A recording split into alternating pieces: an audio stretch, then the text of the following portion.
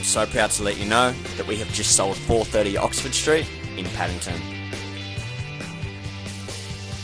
A residential and commercial space in a prime location surrounded by prestige retailers.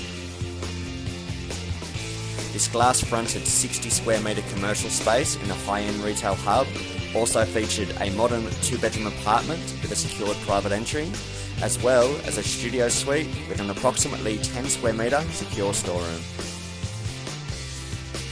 Open layout with high ceilings, ducted air and fitting rooms, with also a rear lane access to parking, potential for tandem parking subject to council approval. For more information, get in touch. I'd love to hear from you.